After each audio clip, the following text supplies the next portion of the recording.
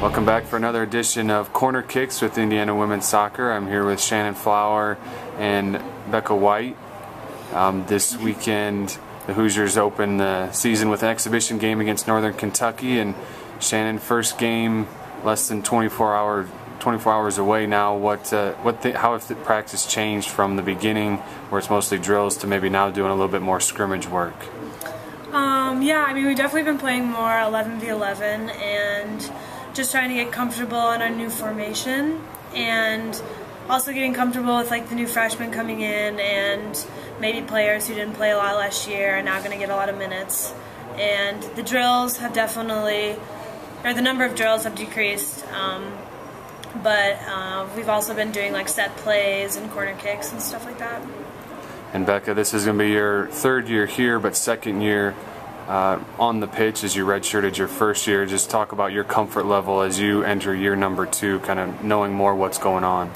Um, yeah, I'd say we're as upperclassmen, you're kind of like forced into a leadership role more because we know the formation and what's going on. So you just have to communicate a lot more, and I've gotten a lot more comfortable being an upperclassman. And Shannon, kind of along those same lines with communication, just talk about as a goalkeeper being the leader of the defense and making sure things are organized. Yeah, I mean, I think obviously being the oldest goalkeeper, I need to step it up and work a lot with my back line. And my back line's also all junior and seniors, so we're pretty comfortable with each other, and which helps a lot because we're able to talk more and nobody's shy about calling each other out. And uh, I think it's going to work really well. Just and we're all great friends and. And Bekah, as we are in the second week of preseason practice, just walk us through what a day in the life is of uh, IU women's soccer player with no classes really going on right now as you guys prepare for the season.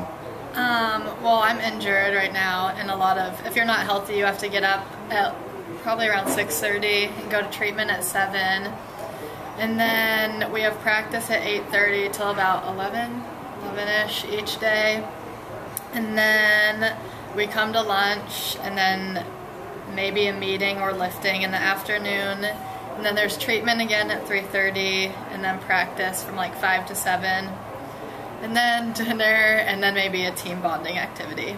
So it's a long day.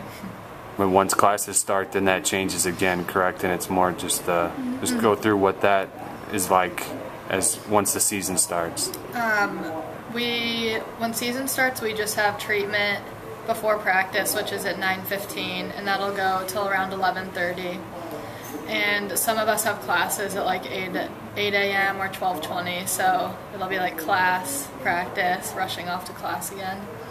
So that's the main thing, and then lifting randomly in there too in the mornings. All right, thank you both for your time, and good luck tomorrow night against Northern Kentucky. Thank you.